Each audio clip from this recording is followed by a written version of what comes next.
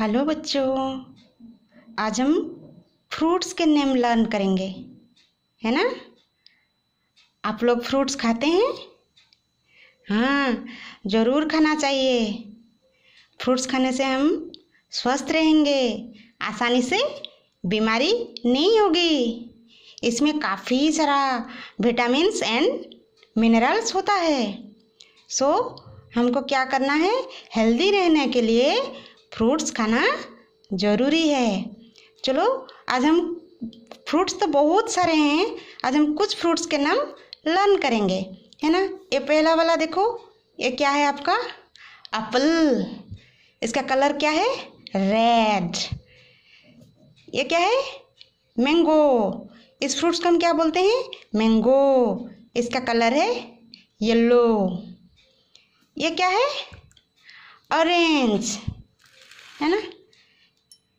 ये फ्रूट्स है ऑरेंज और इसका कलर भी है ऑरेंज नेक्स्ट ये वाला ग्रेप्स है ना? इसका कलर है ग्रीन ये फ्रूट्स बनाना ये आप सभी का पसंद है है ना? ये बनाना इसका कलर है येलो अंदर से वाइट होता है है ना? ये वाटरमेलन, इसमें खूब सारा पानी होता है। वाटरमेलन बाहर से ग्रीन, लेकिन अंदर से रेड होता है। एंड दिस वन चेरी और ये क्या है?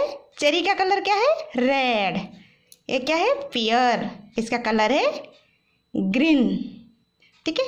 चलो कौन कौन सा फ्रूट्स हम लर्न किए? रिपीट करेंगे। ये है एप्पल मैंगो ऑरेंज फिर grapes banana watermelon cherry and pear okay thank you